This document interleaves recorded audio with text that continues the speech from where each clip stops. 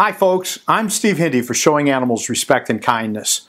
On May 4, 2020, we posted a video asking for your help for sick, starving, and injured cows on a farm in Kendall County, Illinois.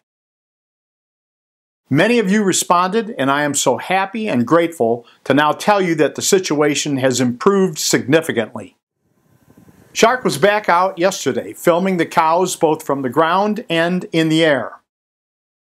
The Kendall County Sheriff's Office responded initially with three deputies, but what began as a tense meeting ended up being productive. We've done our due diligence for them to check on you guys and make sure that your operation was being conducted legally. And as far as we can tell, it is. Generally, we were pleased with the professionalism and responsiveness of the Sheriff's Office. The good news is that the cows have been moved from the mud hole they were mainly in to an area with much more grass, and the cows were clearly taking full advantage. One of the issues we didn't even cover initially was that the fencing in the area where the cows were held was pushed down, and the cows were simply walking through and over, right onto a 55 mile per hour road. The area where the cows have been moved to has good fencing and should keep them from coming to harm. We located one of the injured cows we had seen earlier. She has now been isolated from the other cows, and we hope she's getting proper care.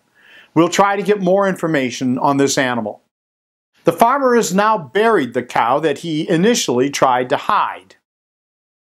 Thank you to everyone who contacted the Illinois Department of Agriculture, the Kendall County Sheriff's Office, and Kendall County Animal Control. Some of you wrote to us about the response from Animal Control, which rather loudly protested being included in the contact list for this issue.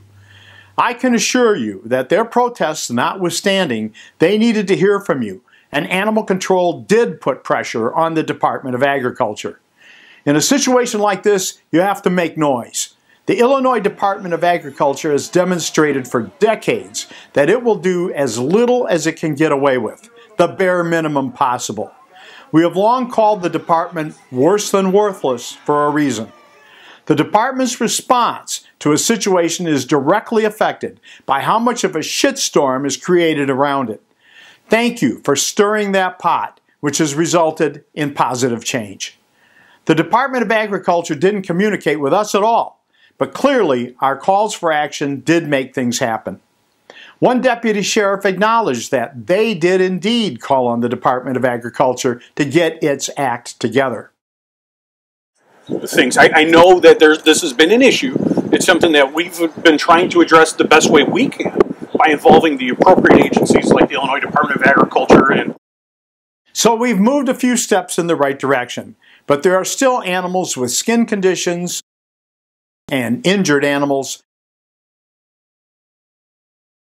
And the grass in this field will not last long for this many cows.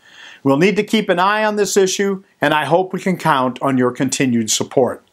I'm Steve Hindi for Showing Animals Respect and Kindness. Thank you for watching. Please like and share this video. You can subscribe to our channel to see more of our investigations, and learn what you can do to help Shark help animals. To support Shark directly and gain access to exclusive content, consider sponsoring us on Patreon.